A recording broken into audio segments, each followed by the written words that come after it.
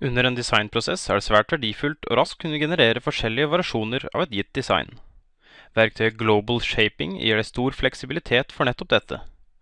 I løpet av denne videoen skal vi gi to eksempler på hvordan du kan bruke dette verktøyet sammen med kurver eller flater for enkelt å forme modeller. Vi begynner med kurvestyrt design. Her har vi en enkel reim som vi skal forme ved hjelp av en kurve.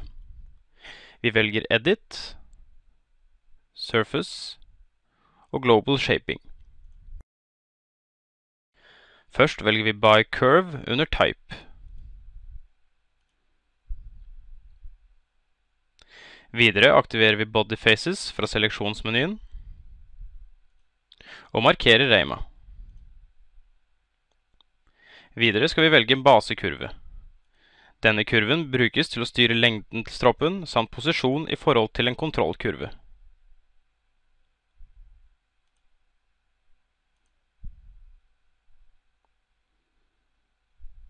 Videre velger vi Control Curve, og markerer den krumme kurven. Modellen vil nå strekke seg så langt som kontrollkurven er. I vårt tilfelle ønsker vi imidlertid å beholde den opprinnelige lengden, så derfor huker vi av Keep Base Length.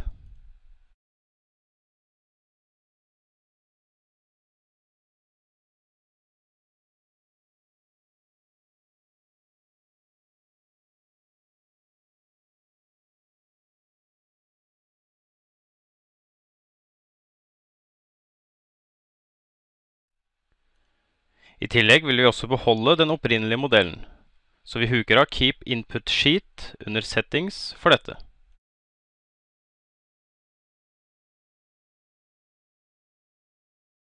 Vi har flere muligheter til å forme den nye modellen vår på.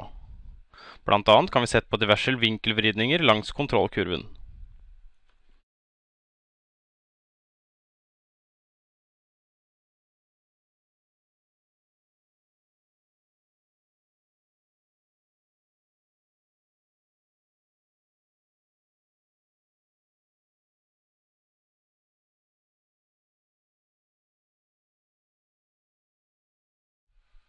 Vi kan også forskyve startpunktet for modellen.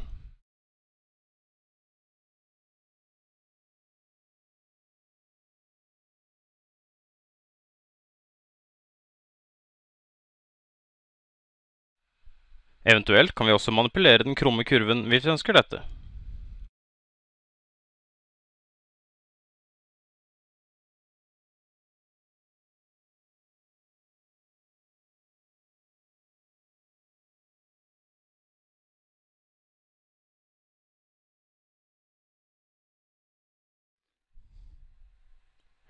I det andre eksempelet skal vi se på hvordan vi kan bruke en X-formet flate til å forme et designutkast til et par briller.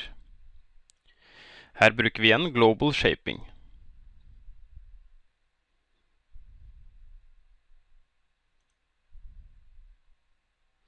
Vi velger nå Type by Surface.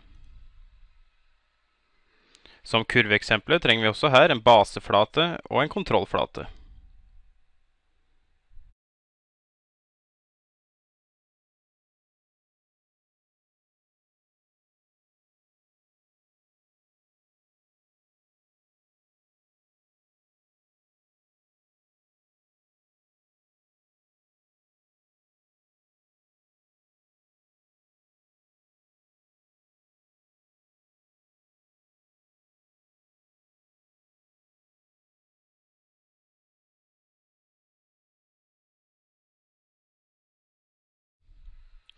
For å lage forskjellige utkast kan du nå eksempel editere X-formverktøyet.